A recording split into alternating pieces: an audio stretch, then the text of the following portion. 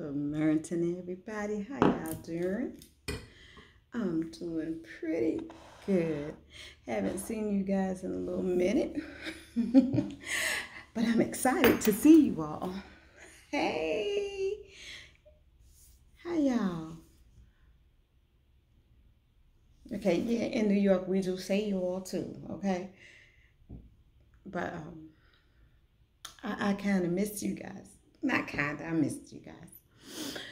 Um,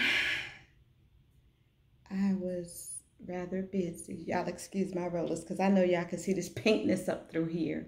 But, you know, sister got to do what a sister got to do. Um, I missed you guys. I really did. Um, my son told me I was doing too many videos in a week. I said, okay, I'm gonna slow down. But I wanted to come and make a video like uh, two days ago, and um, I was just doing things, and I have a lot on my mind. Um, there's something that I kind of put off a project, and I want to um, get back to it.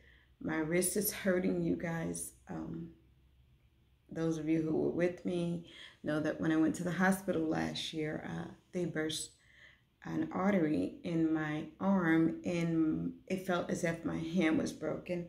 I've been having weird things happen ever since. They said everything is fine, but of course they're going to say that. But um yeah, so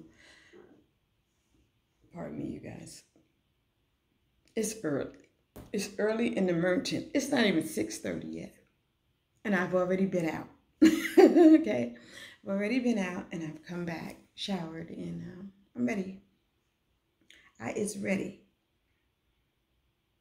Because I've got a, a busy day. So I'm not drinking tea this morning.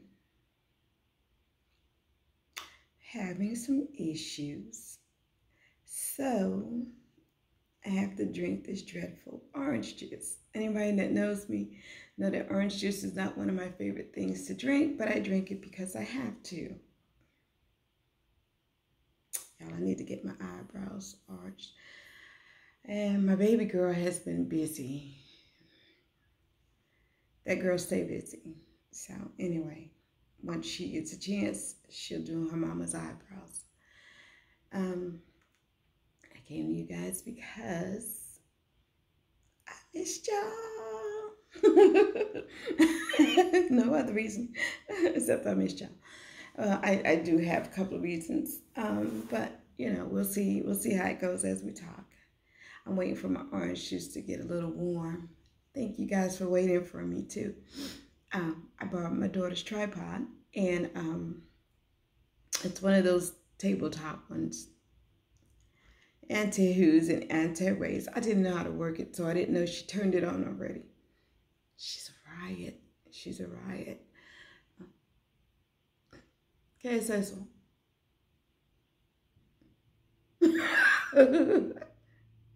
anyway, have funny people in my in my lineage, okay? Everybody. Everybody. But anyway, um you guys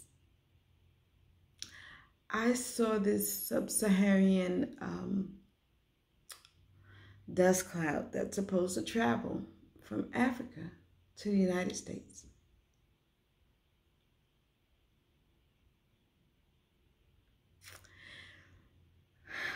HAARP is something else.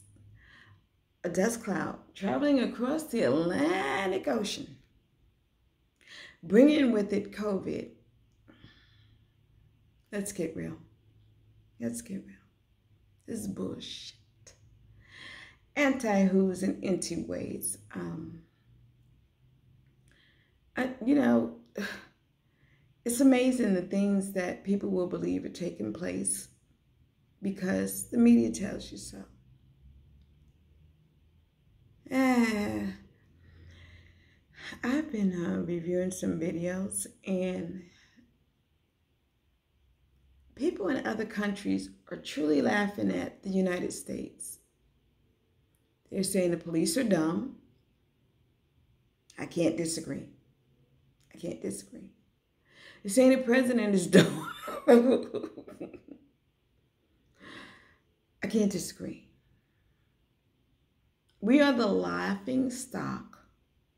Well, I'm not going to say we because I'm not included. And those of you who aren't doing dumb shit are not included either. It's just the dummies that are in control. And we are the laughing stock of the world. Well, not we. I'm sorry. I don't want to say we. I'm working on changing my language, you guys. The country is the laughing stock of the world. Really is. I mean, it's it really is comical what's happening here. It's ridiculous. It's insane. It seems as if insanity is ruling the day. People. People are saying the planet is an awful place to be. And I, I was saying that um, too, that this is such a horrible planet. The planet is terrible. The earth is blah, blah, blah, etc., etc. And that I don't want grandchildren because I don't want, you know, my babies to enter this earth and um, deal with all this racism and stupidity, etc., etc. It is not the earth. It is the greedy, miserable, ugly, wretched, unhappy people of the earth. They make the planet a terrible place to live. Planet is beautiful. The planet is plentiful. There's space for everybody. There should not be homeless. There should not be starvation, no sort of hunger on this planet whatsoever. This planet is big enough to hold us all. It is just the ignorant, greedy, ugly, wretched, soulless, heartless people that think that there's not enough because they want to have everything. How your stinking ass. And I'm saying your stinking ass because your ass stink because your attitude stinks. And your life stinks also. Your stinking ass have a mansion with 16 bedrooms. 16. Count 17 bathrooms. Sometimes 18. Your stinking ass is in there. It's either one or two people. And there are homeless people on this planet. Could you not? Could you not help anybody? Selfish bastards. Selfish bastards. I had a one bedroom apartment. And I had multiple people living there because I believe in helping. I really do. And I got my ass out of my bed and I slept on the floor multiple times because that's the kind of person I am. That's where my heart is at. Not to say that I help anybody, not to brag or to boast, but that's what we should be doing on this planet, helping one another. Anyways, what I wanted to come to you guys with the other day is um, to talk about healing. And being free through healing. You know, I um, mentioned to someone something about my pain, and then they tried to throw it back in my face have nothing to hide and I'm not ashamed of my pain. Okay? Things have happened in my life and I have had to forgive a lot of things. I forgive, I don't forget. I don't forget at all. And even though I, I forgave, um, I was not having healing because I couldn't forget. And there would be times that these things would pop back up in my mind and I'd go through what I call a mental breakdown. Not to the hospital. No, none of that. It's just that I would feel as if I was reliving those things again. And I did not know how to heal. There are a lot of things that plague me now, and I'm working through them. I'm not perfect. Nobody is. Nothing on this earth is perfect. People running around here giving people a 10. Sit your ass down. Sit your ass down because ain't nobody perfect. Nobody's a 10. We're all flawed. One way or another, we're all flawed. Y'all excuse my throat area. Allergies. Goodness. Okay. So let me bring it down. Let me. Y'all stop this with this 10 shit and one shit and labeling people with this rating. You know, most of the people calling people a 10 like a zero. And I'm not saying your features make you look like a zero. It is your mentality. It is your mentality. Stop it. Stop it. Okay. So anyway, I'm flawed. And I'm happy to be flawed. Know why?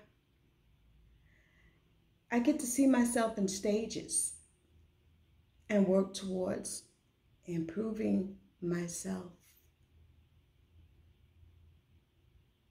I get to see myself in stages and work towards improving myself. I have a missing tooth. And at any time, I could have gotten a tooth and put it in there. But this is something mental and personal that I deal with, and I haven't done it for a reason. I haven't done it for a reason. So, um, I'm working on healing myself. I've been doing this for the past eight years. Has been eight. Maybe nine, almost nine. Been working on healing myself. And in my healing myself, I was able to forgive. I can't forget. And have the ability to cast down those thoughts when they come to me. Casting down the thoughts requires going through a lot psychological changes. And um, because thoughts are strongholds. And even though you say, stop it, you can say, stop it to yourself, call your name. It doesn't stop. It doesn't stop. So, and freeing myself, and I'm still working on a lot of things, as I said, and freeing myself, I learned how to cast down those thoughts instead of entertaining them when they come to me. And I just want to help you guys to cast down those thoughts. Okay, so you you can really be free because true freedom comes with healing. Guys, I'm hot. So um, what's going on is that I have learned to look inside of the things that has happened and talk to the you and I verse, to God, to the goddesses, to my spirit guides, to my ancestors, and ask for help. Okay? My spirit angels. I ask for help. I really do. And um, I have learned that when those thoughts come, you start asking yourself, why are they here?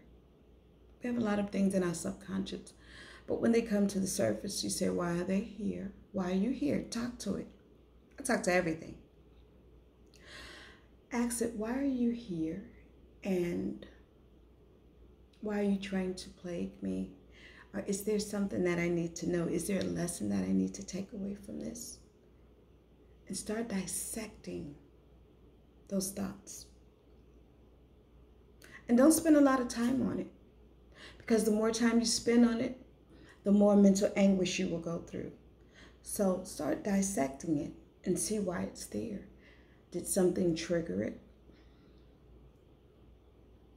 And work on what triggered it also. That is when you begin to get freedom. So people say, I cast those thoughts down, I cast those thoughts down, oh, I rebuke it. It's not going anywhere. It's once you deal with the thought. Go to the process of finding why it's there and what triggered it. That's when you can heal from it and move on from it. Okay? I'm sorry. Funny. so um, that that's a process that I've learned because I was actually trying to say, oh, I'm casting these thoughts away. Get away from me. Stop it. No.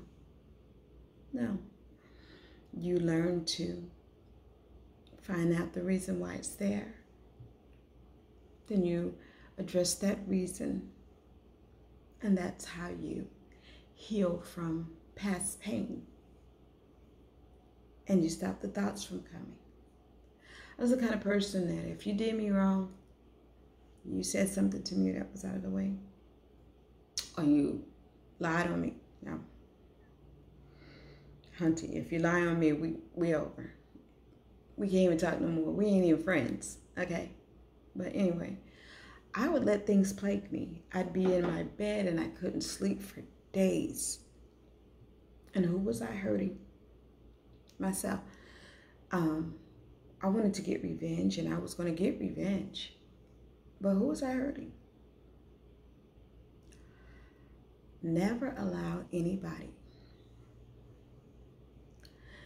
to tap dance in your loopholes. You don't allow anybody to get so deep into you that you lose chains of thought, that you lose sense of time because you're entertaining crap and you want revenge, it's not worth it because karma is something else. And it comes back to everybody. So, um, I just wanted to um, give you guys um, those healing mechanisms so that you can get true freedom. um, I learned something a couple of months ago from talking to someone who's elderly, and um,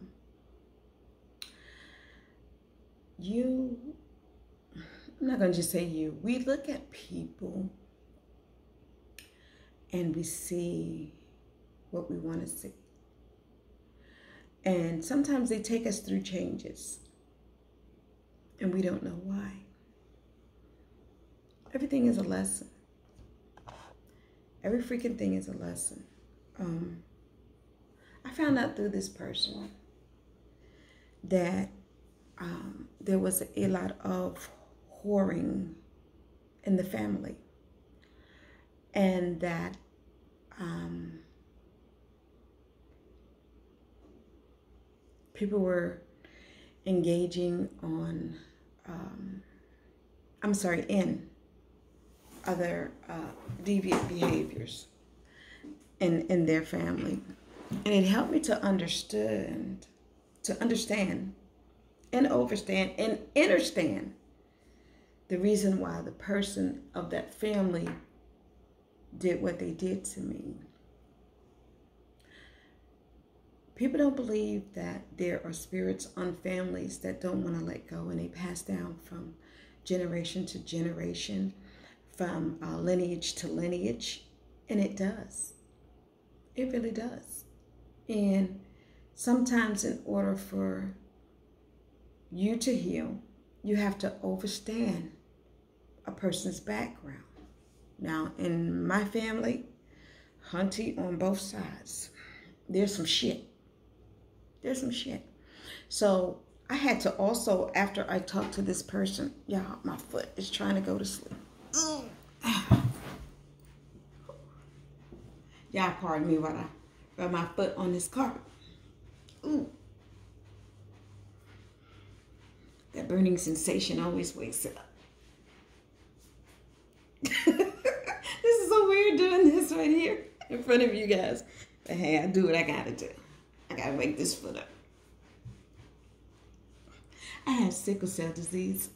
And so, um, for those that don't know, and fibromyalgia. And um, so my blood cells are sickled and they don't, uh, you know, operate like everybody else does. Ooh. Huh. Y'all, I'm trying to wake it up, wake it up. Okay, foot, do your thing. All right. Okay. So, it's still trying to sleep on me, but I'm to hit it right here make sure that um, you know it's okay. So I'm sorry. no, I'm not. I'm not sorry. I'm not sorry. I'm human. Flaws and all. I'm gonna be me. Okay. So anti who's and anti ways. Um. I am. Um, what was I saying? It doesn't take me long to lose my chain of thought, y'all. Um. Oh, a lot of things in my family on both sides. I fight demons constantly, all the time. All the time. It is up to you to have self control. You have to have self control and be able to look yourself in the mirror. And not just look in the mirror, but actually see yourself. Because there was a time that I, I couldn't see myself. I was looking in the mirror and I have to go back three and four times because I could not see myself. Because there was shit that I was doing that just wasn't kosher. Just wasn't kosher. So find out um, what is in the bloodline and learn to forgive yourself and also be able to forgive others. Because had she not told me um, about these things, I would not have been able to look at the person as a human being because I was really looking at this person like a freaking animal. I really was. And I had to look at this person not only from the outside, not only from my pain, but from their inner turmoil. Inner turmoil. They say that hurt people hurt people. I don't believe that because I'm hurt and I don't go around hurting people. Not anymore. I don't think I was hurting people on purpose before. But um I'm gonna have to ponder that because I may have. I may have. I'm not perfect. I may have. And, and come to think of it, I have. Not, a, you know, sitting here and have a chance to think about it, I have. But, um, I had to be able to find out what was going on so that I could see this person as a human being and not as an animal because I was really viewing them as an animal. I'm not going to lie to you. I really was. Excuse me, you guys.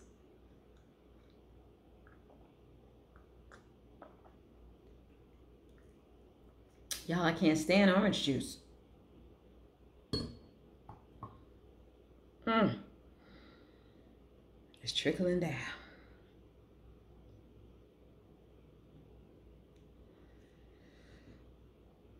It's something that I.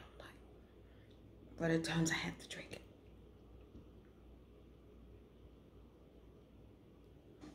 anti-hips and anti-ways. okay. okay. I, I cracked myself up. But, um, you guys, I, um, I just want to help you guys to heal um, from past pain because past pain can constantly be present because things that are in our subconscious are there for a reason, and it's up to us to heal them and move forward. Um, there is something that I'm trying to heal from, and it makes me feel very, very insecure. Very insecure. I have forgiven. I can't forget, and certain things trigger it. And um,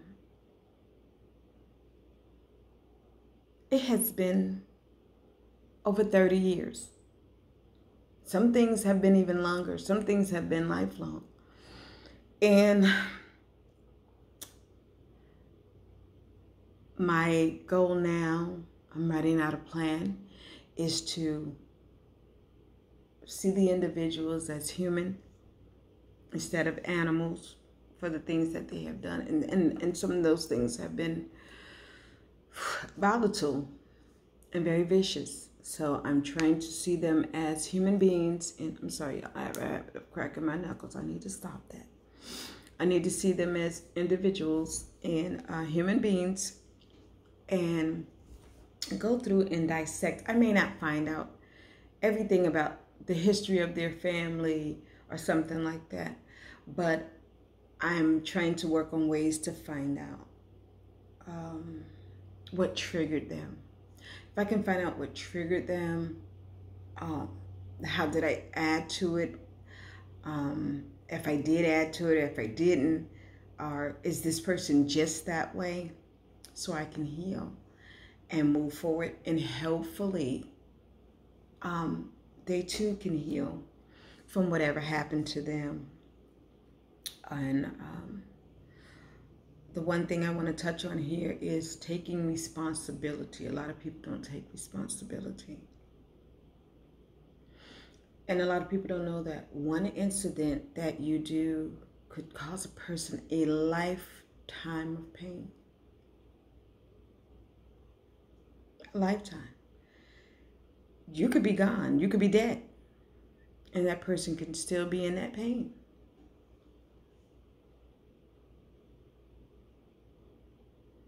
I know some women now whose husbands are dead. And these women are still here. And their spouses caused them pain back in the 1940s, 50s, 60s, 70s. And even though that person is dead and gone, they are still in that pain. I had some pain from my own husband, whom I love dearly. And I was sitting on the couch, and this happened a few weeks ago. And um, this pain, I was talking to him about something. And as I was talking to him, I heard something say, Release that man. Release him. Release him. And I, and I was, you know, he was talking to me. I was talking to him. But this other conversation was going on. And I said, release him. Release him from what? Release him how? Because even though I had forgiven him and I hadn't forgotten, some of those things were making me feel insecure. And in my heart, I was still holding it. I was still holding it. And I will say that that moment, I literally saw a shovel. I saw a shovel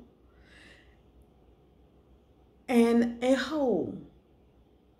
And I was told to put that pain in the grave because it was past pain and to bury it. And I could see myself picking up the shovel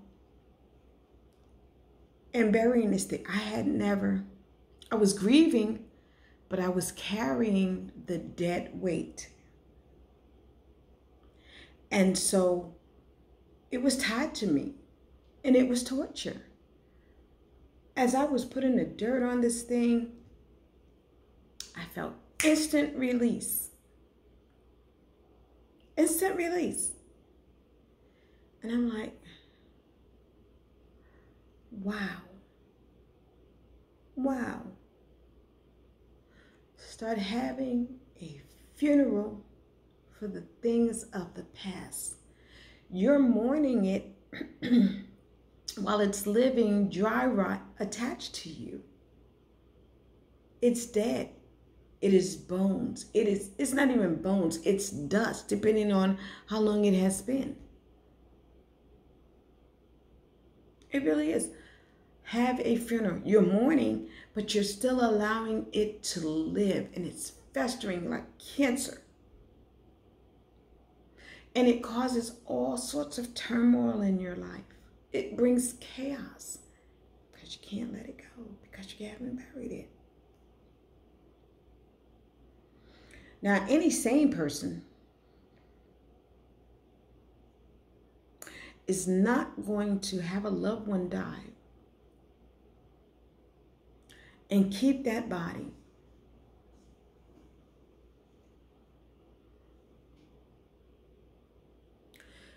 and constantly every day look at that body as that body is decaying. Smelling that body watching that body decay no sane person is going to keep that body in their home, in their life, 30, 40, 50 years.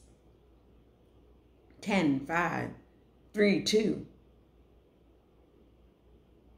You're not going to keep that body and then, you know, carry it around. So don't keep that hurt. Don't keep that pain. Let it go. Bury it bury it, mourn it, and boom, move on. Move onward and upward. So you guys, I gotta get ready. My hubby's coming home. I gotta do the breakfast, and then I gotta get out of here. And um, I just wanted you guys to to heal. That's really what I want. I want I want everybody to be able to heal from past pain. Okay? Heal from past pain and be able to move onward and upward in your life. I want you to be free. I truly do. I want you to be free. So I gave you the keys to healing. And I pray that they work for you. I'm going to stay keeping you guys uplifted because I love you. I really do. And if I didn't, I wouldn't be here. Alrighty, everybody. Have a wonderful Thursday. I thought it was Wednesday. You guys, a little lost. My daughter's birthday is Saturday, and I'm like, I'm psyched. I'm really psyched. Um, anyway, I'll be coming back to you guys, and I love you. Take care, be safe, and stay magnificent. Peace.